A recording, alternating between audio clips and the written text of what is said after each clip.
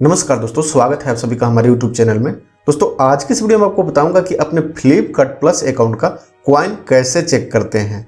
आप अपने फ्लिपकार्ट अकाउंट में कितना कॉइन अभी तक कलेक्ट किए हुए हैं, वो कैसे जाने।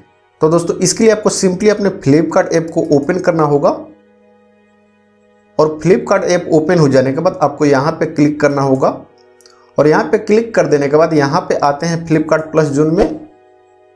तो दोस्तों, काफ़ी सारे लोग फ्लिपकार्ट प्लस अकाउंट का कॉइन यहीं पे आके खोजते हैं, लेकिन यहाँ पे उनको कहीं भी कॉइन नहीं दिखती है। यहाँ पे केवल आपको एक ऑप्शन दिखलाई देता है। यहाँ पे जैसे दिखलाई दे रहा है your journey to renew Flipkart plus 25 percent completed मतलब कि यहाँ पे हम अपने फ्लिपकार्ट प्लस अकाउंट को रिन्यू करने के लिए पच्चीस परसेंट इसका टास्क हम यहाँ से कंप्लीट कर लिए हैं। लेकिन हमें यहाँ पे ये नहीं पता चलता है कि हम अब तक कितना कॉइन कंप्लीट कर चुके हैं। तो इसके लिए आपको क्या करना होगा कि यहाँ से ऊपर में, यहाँ से आपको बैक में आ जाना होगा।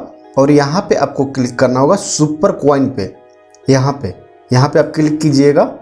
तो दोस्तों, यहाँ पे जैसा कि आप देख रहे हैं कि मैं यहाँ से 190 सुपर कॉइन कलेक्ट कर चुका हूँ। और यहाँ पे 300 सुपर कॉइन है जो ये दिखला रहा है। मेरा रिटर्न पीरियड खत्म होते ही ये यहाँ पे ऐड हो जाएगा 190 में।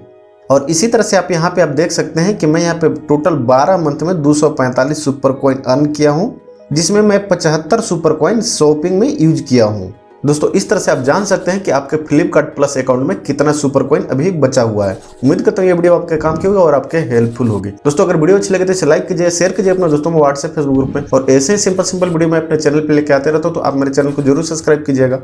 मिलते हैं वीडियो में, तब तक अपना ख्याल रखिएगा। बाय